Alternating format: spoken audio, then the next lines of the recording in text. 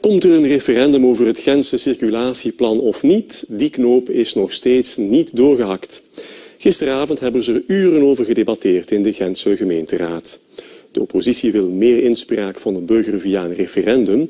De meerderheid stelt de komst van een burgerkabinet voor.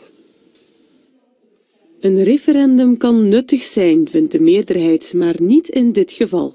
SPA, Groen en Open VLD willen een burgerkabinet samenstellen van ongeveer 150 Gentenaren. Die mensen zullen eigenlijk samen komen uit alle wijken van Gent, eh, alle leeftijden, uh, mannen, vrouwen. Uh, we proberen dat zo divers mogelijk te krijgen. het zullen ook mensen zijn die onafhankelijk van alles zullen, zullen daarin zitten. Dus geen ambtenaren, geen gemeenteraadsleden of zo.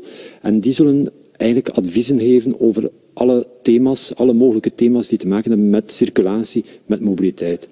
Volgens de oppositie is dat geen echte inspraak. Zij gaan ervan uit dat het voorstel van een burgerkabinet er alleen komt onder druk van een mogelijk referendum. De bevraging wordt gehouden nadat het circulatieplan is goedgekeurd en ook het burgerkabinet uh, komt eigenlijk uh, in het zicht wanneer het mobiliteitsplan eigenlijk in werking is getreden.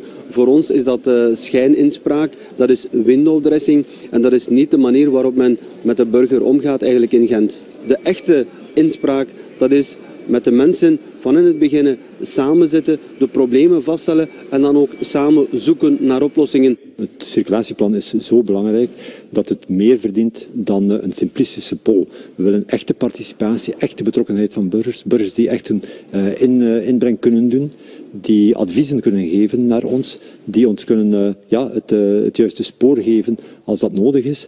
Dus we willen daar echt rekening mee houden op een kwalitatieve manier en niet zomaar een uh, ja-nee-vraag waarbij dat je dan eigenlijk niet goed weet wat uiteindelijk gezegd wordt.